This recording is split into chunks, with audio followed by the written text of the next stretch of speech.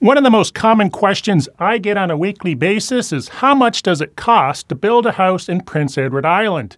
Today we're going to answer that question, if the builders are available, and how to find land to build your new home in PEI. So, number one, typically as a very, very rough guideline, it currently costs between $200 and $250 per square foot to build a house. However, I can't under emphasize the fact that depending on what you're building and the quality of materials or the lack of quality of materials is going to reflect in that square footage figure. It's a very rough estimate. It's a guideline. That number has gone up significantly since 2016, 2015, where it was at about 125 to 145 per square foot.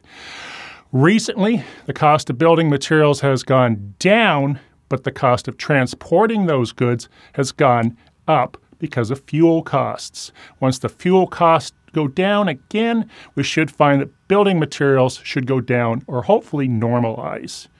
Now, another thing I like to do is I like to go to the home hardware, home uh, Kent Building Supplies, BMR, and ask them what it would cost to build a house based on the materials, and that way I know what I'm paying for labor when I get quotes for that house.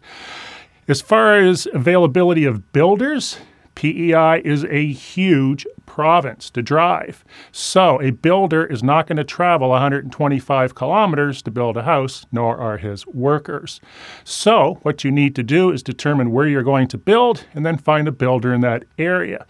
The building supply houses like Home Hardware would probably know who's buying building supplies locally and can probably refer you to a number of builders and give you some references. As far as the availability of land, well, as it turns out, because our inventory of houses has never been lower, a lot of people are building houses. So our land inventory is basically a third or a quarter of what it used to be. Typically having 16 to 1800 pieces of property on the market back in the 2015 area, now we're down to 500 and change. Land is still relatively inexpensive. The prices are all over the place. You can pay ten or twenty thousand dollars for a building lot. You can spend a half a million dollars on a waterfront lot. The prices are all over the place. So my best suggestion is to pick an area you want to live in, determine if it's waterfront or non waterfront, set a budget, have a search set up by your agent or your broker to automatically send you those new listings. In closing, there is a whole long list of mapping tools you can get that will map those properties right down to soil types, property lines, school districts, waste watch, you name it. It's all online. So email me or put something in the comments below and I can share that with you.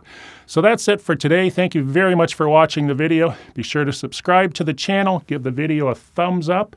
If you have any questions at all in regards to Prince Edward Island real estate or Prince Edward Island in general, put them in the comments below.